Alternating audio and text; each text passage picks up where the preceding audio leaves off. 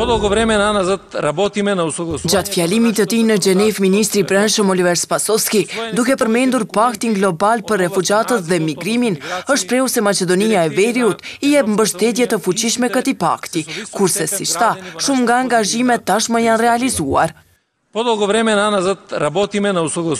kohë të gjatë punojmë në harmonizimin e gjyqësorit tonë me atë evropian.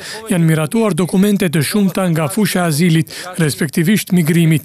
Direktiva të BE-së dhe të njëjtat me shkallë të lartë janë vendosur në legjislativën tonë pozitive. Ministri Spasovski ka shtuar se në vazhdë e sipër janë edhe shumë projekte me qëllim të sinkronizimit të mëtejshëm me standardet e Bashkimit Evropian. Jo vetëm në menaxhimin me migrimet, por edhe me menaxhimin kufitar në përgjithësi. Deka pregovorite za dogovor za status so Evropskata agencija. Negociatat për marrëveshjen për status me Agjencinë Evropiane për Mbrojtje Kufitare dhe Bregdetare tashmë kanë përfunduar dhe së shpejti i njëjti pritet të nënshkruhet si marrëveshje e parë në nivel BE-RMV. Si vend që tashmë kemi filluar negociatat me Bashkimin Evropian, Marrëveshja do të kontribuojë për luftën kundër migrimit të jashtëligjshëm dhe për siguri të përforcuar të kufijve të jashtëm të Bashkimit Evropian dhe rajonit.